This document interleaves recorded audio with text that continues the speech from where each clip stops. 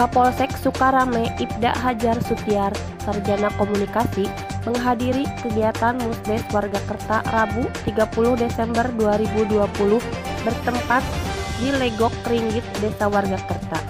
Dalam kesempatan yang sama, beliau memperkenalkan diri sebagai Kapolsek Sukarame yang baru menggantikan Ibtu Iswantara. Dalam sambutannya, beliau berharap silaturahmi dengan masyarakat tetap terjaga, serta berharap masyarakat bisa membantu kinerja kepolisian dalam menciptakan Kamtibmas.